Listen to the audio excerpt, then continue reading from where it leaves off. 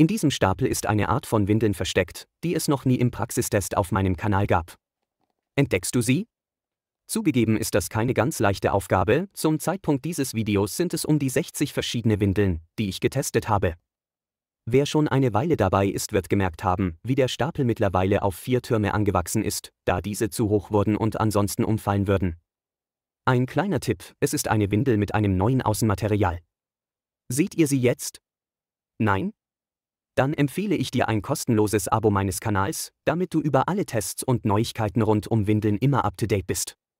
Ich löse das Rätsel auf, hier hat sich die Kiddo Teddys Ultra versteckt. Diese Windel hat gleich mehrere Besonderheiten, die größte worauf ich hinaus wollte, sie ist aus Karten, also einem Außenmaterial, das ähnlich zu dem Stoff ist, den man von der Kleidung her kennt. Unter ABDL-Windeln ist das eine Nische.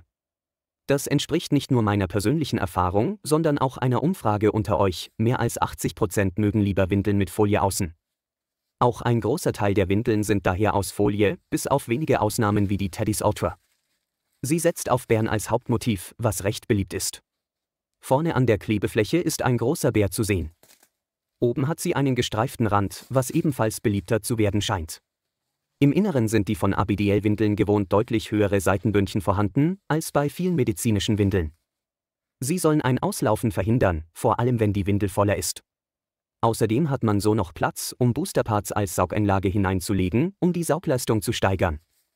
Hinten am Po ist nochmal ein größeres buntes Motiv aufgedruckt.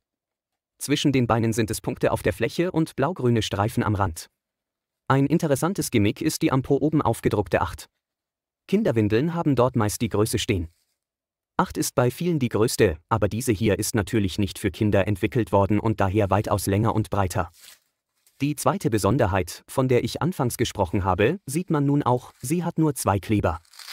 Also einen pro Seite, statt der bei den meisten ABDL-Windeln üblichen zwei Kleber pro Seite. Damit soll sie den Kinderwindeln ähnlich sehen, die schon immer nur einen statt zwei Kleber pro Seite hatten. Da es sich um Klett handelt, kann man sie beliebig oft neu verschließen, das funktioniert soweit ohne Probleme. Anfangs dachte ich, mit zwei statt vier Klebern sollte das Verschließen leichter gehen, weil es ja nur halb so viele sind. In der Praxis fand ich es schwieriger, zwar sind die Kleber breiter als die einzelnen bei anderen Windeln. Ungefähr so breit, als hätte man die zwei getrennten Kleber bei anderen Windeln übereinander zusammengeführt. Allerdings sind sie nicht breit genug für den gesamten Seitenflügel.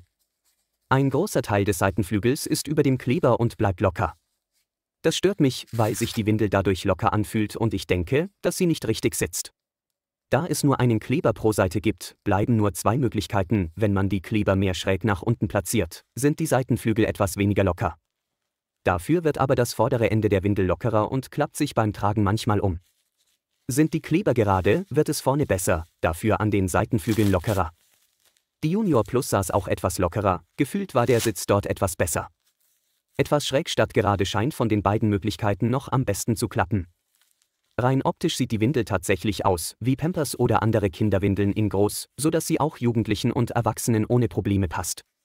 Bevor wir uns Ergebnisse der Saugleistung im Alltag anschauen, erstmal zum Shop, in dem diese Windeln und auch weitere von Kiddo verkauft werden, da gibt es auch noch etwas für euch. Sie wird von Diaper Minister verkauft, der sie mir für den Test zur Verfügung gestellt hat, an dieser Stelle danke dafür. Falls ihr Diaper Minister noch nicht kennt, der große Shop aus Europa hat sich auf Produkte für ABDL spezialisiert. Es gibt ein umfangreiches Sortiment von derzeit fast 100 verschiedenen Windeln, die ihr nach verschiedenen Kriterien sortieren könnt. Beispielsweise mit Folie oder Karten außen, je nachdem, was ihr bevorzugt. Neben der Lil Soaker gibt es dort auch viele andere Windeln, die ich in meinen vorherigen Videos getestet habe und Zubehör wie Booster, Cremes oder Schutzmatten fürs Bett. Ebenfalls einen Blick wert sind die zahlreichen anderen Dinge aus dem ABDL-Bereich. Es werden neben Pyjamas und Schnullern beispielsweise verschiedene Bodies angeboten, sowohl süß bedruckte als auch schlichtere. Wer kindlich bedruckte Unterhosen mag, findet bei Diaperminister zahlreiche, die Erwachsenen passen. Das gilt auch für einige weitere Kleidungsstücke, Latzhosen, T-Shirts, Mützen wie die Peak ABU Kappe und noch einiges mehr. Ich habe dort seit über einem Jahr mehrere Male bestellt. Eine davon ist in meinem Video vom Oktober 2022 zu sehen, sie kam wie bisher alle anderen auch diskret verpackt. Ihr könnt euch auf diaperminister.com selbst umschauen. Mit dem Gutscheincode WindelTV10 erhaltet ihr 10% Rabatt auf das gesamte Sortiment, ohne Mindestbestellwert oder Höchstgrenze. Die Links findet ihr in der Videobeschreibung. Weiter geht es mit dem Praxistest, Die leere Windel bringt 198 Gramm auf die Waage und gehört damit zu den leichtesten. Vergleichbar mit einer Peak Abu, sie wiegt 194 Gramm. Das höchste Gewicht der vollen Windel lag bei etwas mehr als 1,7 Kilogramm. Die restlichen Ergebnisse waren ziemlich durchwachsen, mal waren es nur gute 1,5 Kilogramm, einmal fing sie sogar nach rund 1,3 Kilo an auszulaufen. Fangen wir mit dem besten Ergebnis an, die 1,7 Kilogramm sind guter Durchschnitt, abzüglich des Gewichtes der Windel selbst entspricht das einer Saugleistung von effektiv ungefähr 1,5 Litern. Von einem neuen Rekord weit entfernt, aber im Alltag reicht das vielen sicherlich aus. Einen direkten Vergleich mit den Kiddo Junior Plus, die ebenfalls zwei Kleber insgesamt und damit einen pro Seite haben, kann ich leider nicht ziehen. Der Junior Plus Test ist schon älter, damals habe ich die Windel nicht gewogen. Falls euch ein Vergleich interessieren würde, schreibt es in die Kommentare, dann hole ich das in einem eigenen Video nach. Negativ fand ich die vielen geringeren Ergebnisse. Es kommt bei jeder Windel mal vor, dass sie etwas schlechter sitzt und daher schon deutlich vorher ausläuft. Gerade am Anfang, wenn es eine neue Windel ist, deren Passform man noch nicht so gut kennt. Das ist normal. Bei der Teddys Ultra passierte das aber auffällig oft, auch im späteren Verlauf des Tests. Bei der ebenfalls neuen Lil Soaker war das deutlich seltener der Fall, wie auch bei vielen anderen im Test. Ich denke, das hängt mit dem lockeren Sitz zusammen, den ich am Anfang gezeigt habe. Bei ABDL-Windeln haben sich insgesamt vier Kleber und damit zwei pro Seite durchgesetzt, weil man damit die Windel optimal am Körper fixieren kann. Wenn man ein Blatt Papier an die Wand klebt, geht das am besten mit mindestens vier Klebestreifen, in jede Ecke eines. Zwar kann man auch nur zwei Stück nehmen. Aber dann wird das Blatt immer flattern, entweder an den Seiten, wenn die zwei Kleber nur oben und unten angebracht sind. Oder eben oben und unten, wenn man es an den Seiten festklebt. Das gleiche Problem scheint es bei Windeln für Erwachsene zu geben. Kinderwindeln sind davon nicht so sehr betroffen, weil sie ja viel kleiner sind und auch weniger aushalten müssen, dort reicht ein Klebestreifen pro Seite. Preislich kostet eine Packung mit 10 Stück 32,90 Euro, sodass eine 3,29 Euro kostet. Das kann man von zwei Seiten sehen, vom reinen Preis-Leistungs-Verhältnis aller Windeln betrachtet ist das teuer. Es gibt einige Alternativen, die mehr Saugleistung bieten und deutlich weniger kosten beispielsweise die Lil Soaker von der gleichen Marke oder Critter Caboose, wenn man lieber Reas mag. Betrachtet man die Nische von ABDL-Windeln mit Karten und eventuell sogar noch die zweite Nische der modernen Pampers-Fans, dann ist diese Windel sogar relativ günstig. Cotton-Windeln sind deutlich teurer als Folie, am bekanntesten ist die Little Kings für knapp 4 Euro pro Stück.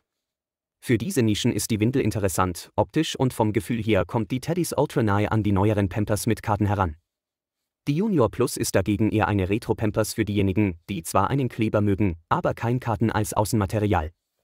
Das ist bei den Pampers ja auch noch vergleichsweise neu, jahrzehntelang hatten die auch Folie außen, so wie heute viele ABDL-Windeln. Vor einigen Jahren hatte ich eine medizinische Windel mit textilähnlicher Oberfläche, die sich für meinen Geschmack sehr unangenehm anfühlte, so dass ich die Reste versucht habe, auf Kleinanzeigen loszuwerden. Im Vergleich dazu wirkt die Kiddo Teddys Ultra weniger hart und dadurch angenehmer sowie hochwertiger. Ich persönlich fand das Außenmaterial für Karten in Ordnung. So weich wie Folienwindeln ist sie allerdings nicht, wer lieber Folie mag, wird hier wohl nicht glücklich werden. Empfehlen würde ich diese Windel nur für diejenigen, bei denen Optik und Gefühl einer neueren Pampers oder vergleichbarer Kinderwindeln an erster Stelle stehen. Dafür muss man den entsprechenden Preis sowie eine nicht optimale Passform in Kauf nehmen. Für alle anderen hat die Teddys Ultra mehr Nachteile als Vorteile und es gibt einige Alternativen. Eine aktuelle ist die vorher schon kurz erwähnte Lil Soccer vom gleichen Hersteller Kiddo. Sie fällt mit einem neuen Design auf, das es so vorher noch nicht gab.